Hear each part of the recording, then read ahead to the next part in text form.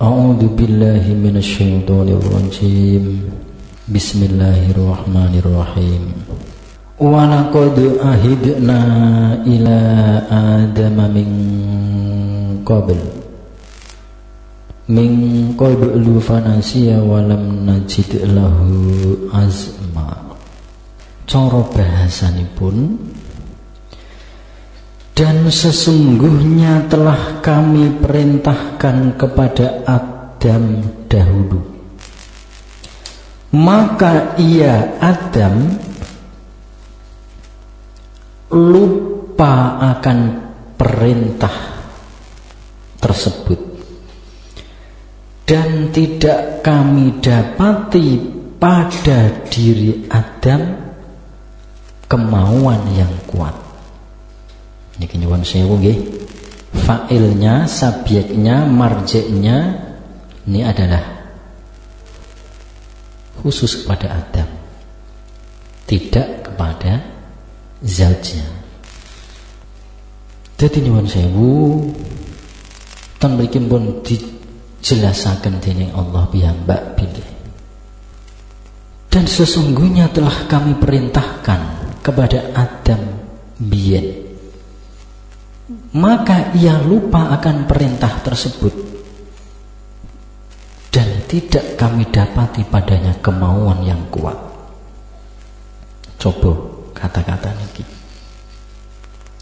Tenbriki ada kata-kata nasia. Juga ada kata-kata lam najid lahu azma. Saya nggih, niki sing perlu kula jenengan ngerteni sadari. Nasia kalih lam najid lahu azma niki dulu pernah dialami oleh Adam. Berarti di kapan ono perkara kok dialami kali Adam berarti anak turune yo ngalami niku mesti wong instalan pertama niku tidak bisa hilang kok malah tambah parah dengan saiki. Entek lupa itu tambah angel. Lah mriki niku ternyata mingko belu fanasia. Lah kata-kata nasia bimakna lali Adam iku lali bab apa to jane? Lam najid lahu azma Adam iku mau kok tidak mempunyai kemauan yang kuat niku babakan masalah nopo lah niki. Sing dalu niki kula jenengan bongkar niki lho, kersane kula jenengan niku ngerti kekurangane awake dhewe. Oleh ten mriki dipun aturaken fanasia.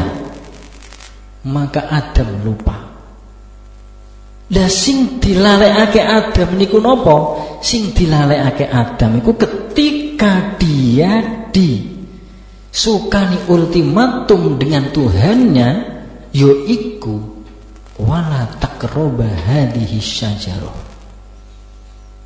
Dia lupa nomor loro dalam diri Adam itu tidak ada niat yang kuat untuk menjauhi wala takroba hadis sajarah. Kira-kira loro itu mau kandel tenggene kula jenengan mboten. Mula pantes mau kula jenengan iki males terus iki yo memang bener kala lam najib lahu azma dalam diri anak Adam kula jenengan iku tidak ada azam. Persis kaya sing dialami biyen umpama Adam iku mau dak lali Yo umpama Adam iku mau kok dak lam najid lahu azman duweni himah sing kuat, yo Adam mesti boten bakal nyedak dateng hadis sajaroh. Lah nak ra cedak berarti ora mangan, nak ramangan berarti ora salah, nak ra salah berarti ora mudun, nak ra mudun berarti dak ano dunyo. Itulah skenario dari dia Allah di kami syai'un. Mula nyuwun sewu kata-kata ini adalah fanasia. Coba umpama umpama kula jenengan takok, kenapa kata-kata ini kok dak faansa? Kenapa kata-kata ini kok faansa Allah gawe lali karo Adam? Kenapa dak mau? Kenapa kok fanasia? Perbedaannya kan kalau nasia jelas itu sulasi mujarab. Kalau ansa itu adalah sulasi majid. Gitu? Jadi antara nih sewu cara biasa antara nih lazim kali mutaati. Nak fanasia kali ansa nak awang ake sing dilaleke berarti Adam. Nak fanasia lali berarti sing lali Adam. Ya nih redaksi ini temriki niku napa? Nyuwun sewu. Memang Allah itu tersucikan dari segala sesuatu yang tidak suci. Mula bahasa ini fanasia. Jadi orang kesalahan Allah tapi kesalahan ada mula kula jenengan nak wis ngerti ngeten iki aja aja macem-macem kula jenengan ki nyalahke Allah ngoten lho maksudnya. Paham niki? Begitu juga walam najid lahu azma kami tidak aku itu nemu dalam diri Adam iku mau asma. Kira-kira niki kesalahan Adam nopo kesalahan Allah? Jelas iki redaksi menunjukkan kekurangannya Adam. Mula nak kula jenengan males aja disandarake ning ngene Allah, iku kabeh Allah. Dadi aku ki durung digerakake ngrombang. Dadi ki yo yo sing ngene ki wae. Lho. Iki mula kula jenengan aja macam-macam fahamilah ayat tersebut. Paham ya? Mula nyuwun sewu. Ketika Adam sadar dengan kesalahannya ketika sudah ada di dimensi fana apa untuk ndungane Adam?